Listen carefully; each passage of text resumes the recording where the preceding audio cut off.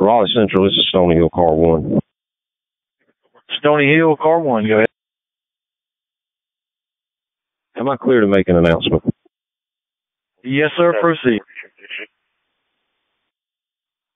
Okay, the Stony Hill Rural Fire Department Incorporated is uh, signing off as an organization effective uh, 0 hours, July 1, 2017.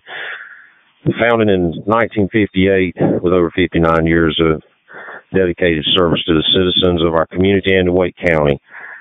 We wish to thank our community, our current past members, our organizational partners for their assistance and support over these many great years. We've done a good job and we're very proud and we're very excited about our future as part of the Northern Wake Fire Department. We will continue to be dispatched to Stony Hill until July 5th when the cab changes are effective. So Central Northern Wake Stations 2 and 4 are now in service. Stony Hill Car 1 will be clear and Stony Hill Fire Department Incorporated is now 1042. 10-4, Stony Hill Fire Department. 1042, 0001, July 1, 2017. Northern Wake Stations 2 and 4 are now in service. 0001, July 1, 2017.